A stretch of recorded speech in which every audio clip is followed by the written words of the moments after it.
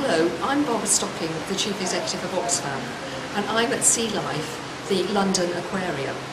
Now you might well ask what I'm doing here, but I'm standing in front of a stunt that's been designed to really show the impacts of climate change on human life, in particular on the rising sea level. We have people in the tank um, just in, in a fun way demonstrating how we might have to live if sea level rises that much.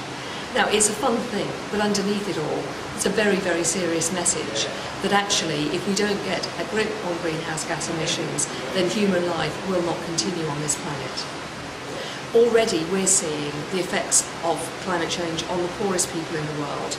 Uh, we've seen the increased numbers of hurricanes and floods in the poorest countries.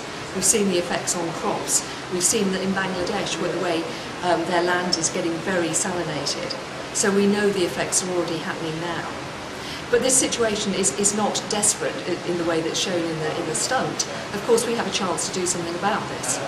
In December, world leaders will meet in Copenhagen, and we want them to come out with a deal that is both fair and safe.